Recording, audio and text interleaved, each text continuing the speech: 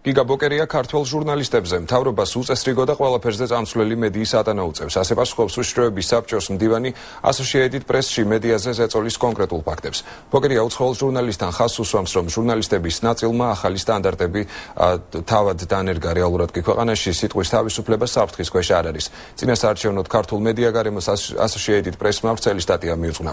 ჟურნალისტების დევნა, შანტაჟი და მუშაობაში ხელი შეშლა პუბლიკაციის ავტორი ყველა იმ კონკრეტულ შემთხვევას იხსენებს, რა დროსაც მედიის წარმომადგენლებს თავს დაესხნენ მუშაობის საშუალება არ მისცეს ან მათზე შეწოლა განახორციელეს.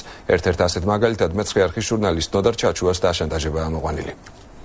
საქართველოს უშიშროების საბჭოს მდივანი გიგა ბოკერია Associated Press-ისთვის მიცემულ ინტერვიუში უარყოფს, რომ ქვეყანაში სიტყვის თავისუფლება საფრთხის ქვეშ არის.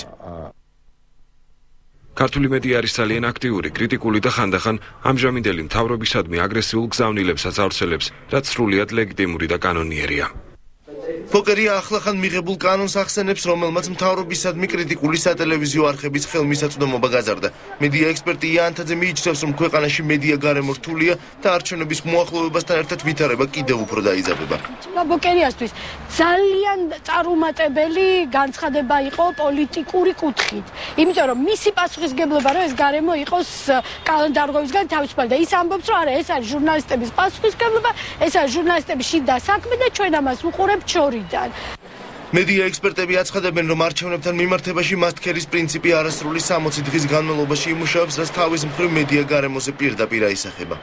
ცხადია არ გულისხმობს საერთო ეგრეთ წოდებულ საერთო ნაციონალურ მოუწყებლებს, რომლებიც არიან იყვნენ და ვეჭობ რომ იქნებიან ასევე არაკრიტიკულები ხელისუფლების მიმართ, როგორც იყვნენ აქამდე და მეტიც იქნებიან სწორედ პროსახელისუფლო ელემენტები, როგორიც იყვნენ აქამდე და კლავაც გაატარებენ თქვათ ასე მიკერძოებულ საინფორმაციო პოლიტიკას. რატო ხარ აქ რა ხდება? სტატიის ავტორმა ცალკე გამოყო მედია ჯგუფის თემა, რომლის წევრებიც რეგიონებში ჟურნალისტებს დაძდევენ და უაზრო შეკითხვებით და ვულგარული შენიშვნებით თავს აბეზრებენ. ბოკერი ამბობს, რომ კაცები, რომლებიც ჟურნალისტებს დაძდევენ, კონკურენტი რეპორტიორები არიან და მათ ოპოზიციური მედია საშუალების აგრესიულ მეთოდს მიბაძეს.